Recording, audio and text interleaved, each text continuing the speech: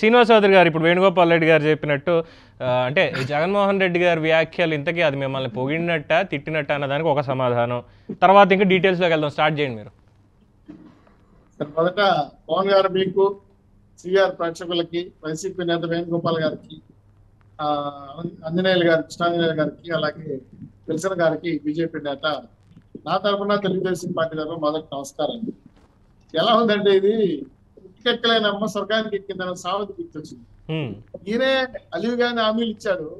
ఈ రోజు Telugu Desam party mini manifesto మహానరస్పరంగా ఒక మినీ మేనిఫెస్టో ఇచ్చి ఇవ్వడం జరిగింది. ఈ మినీ మేనిఫెస్టోలో మహిళలకి రైతులకి నిరుద్యోగ నిరుద్యోగులకి అలాగే భవిష్యత్తులో మన ఎంప్లాయ్మెంటేషన్ కోసం ఇరవై ఇరవై లక్షలు అలాగే డెవలప్మెంట్ కోసం పూర్ మ్యాన్ని రిచ్ మ్యాన్ చేయడం కోసం కొన్ని హామీలు ఇచ్చారు. అంటే పదకొండు రకాల హామీలు ఇచ్చారు. అసలు మెయిన్ డ్రా ప్రణాళిక ఇంకా రాలేదే. మా- మధ్యలో మినీ వేణుగోపాల్ గారు వేణుగోపాల్ గారు ఆయన మాట్లాడినవ్వండి ఒకసారి. మినీ మ్యాన్ పోస్టే వైసీపీ వాళ్ళకి గుండె జారిపోతా ఉంటే ఇంకేం చేయాలి. సరే మీరు అన్నారు కదా మీ జగన్మోహన్ రెడ్డి గారు బ్రహ్మాండంగా అభివృద్ధి చేశారని. నేను కొన్ని ఉదాహరణలు చెప్తాను. దయచేసి నోట్ చేసుకుని సమాధానం చెప్పని చెప్పి మా నాయకుడు వైసీపీ నేత వేణువు చెప్తున్నాను. గతంలో రెండు వేల ఇరవై రెండు. సెప్టెంబర్లో కుప్పం నాదే అని చెప్పి ఆయన ఒక పర్యటన చేశాడు కుప్పంలో. అరవై ఆరు కోట్ల రూపాయల కుప్పానికి కేటాయించి రూరల్కి వంద కోట్లు కేటాయించారు. పులివెందలతో సమానంగా నేను కుప్పాన్ని అభివృద్ధి చేస్తానని చెప్పి అక్కడ వాగ్దానాలు చేసి శిలా పలకాలు టెంకాయలు మామూలు కొడతారు మీకు కూడా తెలుసు కదా. శిలా పలకాలు ప్రారంభించి టెంకాయలు కొట్టేశారు. అక్కడ వైసీపీ నాయకులు. వేణుగోపాల్ గారు వేణుగోపాల్ గారు వేణుగోపాల్ గారు దయచేసి మీ టర్న్ వస్తుంది. వేణు వేణు వేణు వేణు దయచేసి నోట్ చేసుకో. అడిగిన దానికి సమాధానం మీతో పోటీ లేదని మేము అంటున్నాం. ఆ చిన్న పలకాలు వేసి ఆ రోజు వచ్చేస్తే వైసీపీ నాయకులు ఆగమేఘాల మీద వెళ్ళిపోయి అప్పు చేసి పద్దెనిమిది కోట్లు అప్పు చేసి పనులు చేశారు. ఒక్క రూపాయి బిల్లు ఇవ్వలేదు. ఒక్క కోటి రూపాయలు కూడా కుప్పానికి కేటాయించలేదు. మరి ఎవరు మెమరీ లాస్ పేషెంట్? ఒకసారి చెప్పాలి. అలాగే తాడి గ్రామం విశాఖపట్నంలో ఈ ఫార్మాటికల్ సిటీలో అక్కడున్న కొంతమంది గ్రామం గ్రామం తాటి గ్రామంలో కొంతమంది పే- పెద్ద పేదవాళ్ళు అందరూ ఉన్నారు కాపు. అక్కడ కెమికల్ ఎక్కువైపోయి విండు గాలి పొల్యూషన్ అయిపోయి భూగర్భ జలాలు నష్టపోతా ఉంటే మేము తెలుగుదేశం పార్టీ పీరియడ్లో ఆ గ్రామాన్ని ఖాళీ చేయడం కోసం అగ్రహారం అనే ఏరియాలో వెళ్ళి పదహైదు ఎకరాలు కేటాయించి యాభై ఎనిమిది కోట్ల రూపాయలు ఆ నగరాన్ని పూర్తిగా మార్చాలని అనుకున్నాం. జీవో కూడా ఇవ్వడం జరిగింది ఆ రోజు. అయితే జగన్మోహన్ రెడ్డి గారు పాదయాత్ర సందర్భంగా అక్కడికి వచ్చి నేను ఇంకా బ్రహ్మాండంగా చేస్తానని చెప్పి ఇంకో ఇంకొక ప్రాంతంలో నేను పట్టాలు ఇస్తానని చెప్పి ఆ ప్రాంతానికి పట్టాలను కూడా కేటాయిస్తానని చెప్పి ఇంకా మేము ఎక్కువ డబ్బులు కేటాయిస్తానని చెప్పి ఏ సంవత్సరం రెండు వేల అంటే ఫార్మాసిటికల్ కలుషితం అయిందని చెప్పి ఆ రోజు పాదయాత్ర సందర్భంగా చెప్పిన మాటలు. ఇంతవరకు ఆయన జీవో ఇచ్చిన దాన్ని కూడా మేము అమలు చేయకపోగా ఆ గ్రామానికి వంటించిన సౌకర్యం లేదు విద్యుత్ లేదు అని తాగునీటి సౌకర్యం లేకుండా పూర్తిగా పాదయాత్రలో ఇచ్చిన హామీలు మర్చిపోయిన మెమరీ పేషెంట్ ఎవరు?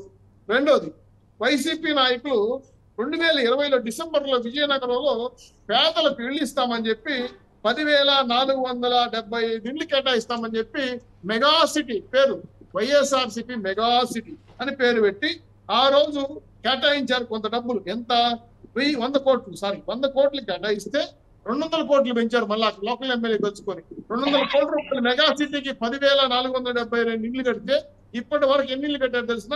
ఏవో వైసీపీ నాయకులు రాష్ట్రం అని కూడా చెప్తున్నారు. రెండు వందల డెబ్బై నలభై ఐదు ఇళ్ళు కట్టారు. పద్దెనిమిది వందల ఇండ్లు పునాదులు సాధించిపోయి అక్కడ ఇవి కాకుండా మట్టి రోడ్డు అలాగే విద్యుత్ అలంకరణ విద్యుత్ దీపాలు ఏర్పాటు చేస్తున్నారు. వాటి గురించే మర్చిపోయారు. ఎవరు సార్? పవన్ గారు ఇప్పుడు మెమరీ లాస్ పేషెంట్. అలాగే వెంకటగిరి పార్లమెంటు నాయకులు శ్రీధర్ రెడ్డి గారు కానీ ఆనం బ్రదర్స్ కానీ ఆరో అధికారులు ఉండేటప్పుడు వాళ్ళ పార్టీలో ఎమ్మెల్యే ఉండేటప్పుడు సోమశిల స్వర్ణముఖి నదిని లింక్ చేసి ఇక్కడ వెంకటగిరి దాహస్తి తీయండి అని చెప్పి రిక్వెస్ట్ చేస్తే ఆ రోజు ఆగమేఘాలకు ఎస్ఎస్ కెనాల్ అంటే సోమశిల స్వర్ణముఖి నది లింక్ దీనికి సంబంధించిన తాగునీటి కోసం ఆ రోజు కేటాయించిన డబ్బులు జూన్ పది ఒకసారి మాట్లాడారు. జూన్ రెండు వేల పంతొమ్మిదిన మాట్లాడి కేటాయిస్తే ఇప్పటి వరకు సార్ రెండు వేల ఇరవైలో సారీ ఇంతవరకు కనీసం రూపాయి కూడా కేటాయించకుండా కెనాల్ పనులు ఆపేసి తాగునీటి సౌకర్యం పూర్తి నిలిపేసి ఆరో సంతకం పెట్టిన జీవో ఆరో సంతకం పెట్టిన అర్జీ పైన ఇప్పటికే ఉంది. ఆ సమస్యల కెనాల్ని ఇప్పటి వరకు అనుసంధానం చేయకుండా వెంకటగిరి ప్రజలకు దాదాపు పదిహేను లక్షల మంది ప్రజలు చుట్టుపక్కల ఉంటారు. వాళ్ళకి ఎంతో తాగునీటి సౌకర్యం కల్పించాలి. అలాగే ఇంకో విచిత్రమైన విషయం చెప్తాను సార్ పవన్ కృష్ణ గారు మన వైసీపీ నాయకులు నోట్ చేసుకోవాలి. రెండు వేల పంతొమ్మిదిన ఒకసారి సంతకం నెల్లూరు. చర్చ్ కోసం నెల్లూరులో ఒక చర్చ్ కట్టాలని రెండు వేల కోటన్ రెడ్డి గారు కోటన్ రెడ్డి గారు చెప్పారు ఆయన అదే కదా? రెండు వేల ఇరవై రెండు ఒకసారి పవన్ గారు ప్లీజ్ రెండు వేల ఇరవై రెండు ఒకసారి మూడు సార్లు సంతకం పెట్టి ఏడు కోట్ల రూపాయలు నెల్లూరులో ఒక చర్చి కేటాయించారు. ఆ చర్చికి ఒక్క రూపాయి కూడా ఇంతవరకు ఇవ్వాలి. ఎవరు సార్ మెమరీ ప్రెసిడెంట్ మీరు చెప్పాలి దయచేసి? ఇవన్నీ వీళ్ళు కేటాయించిన వైసీపీ పార్టీ నాయకులు తొంభై ఎనిమిది పాయింట్ నైన్ నైన్ పర్సెంట్ మేము బ్రహ్మాండంగా అభివృద్ధి కార్యక్రమాలు చేసేసాం జనాలు మాకు నీరాజం కడుతున్నారు కదా నేను జిల్లాల వారీగా చెప్తున్నా నోట్ చేసుకుని సమాధానం చెప్పని చెప్పండి. ఇంకా ఇంకో విషయం ఏంటంటే గుంటూరు పచ్చుపాటు సెంట్రల్ లైటింగ్ కోసం ఏడు కోట్లు తాగినీటి కోసం పదమూడు కోట్లు సాఫ్ట్వేర్ అలాగే అక్కడ సొసైటీ ఆ, సామాజిక భవనాల కోసం ఎనిమిది కోట్లు పిహెచ్ సెంటర్ కోసం మూడు కోట్లు. ఇలా కేటాయించినప్పుడు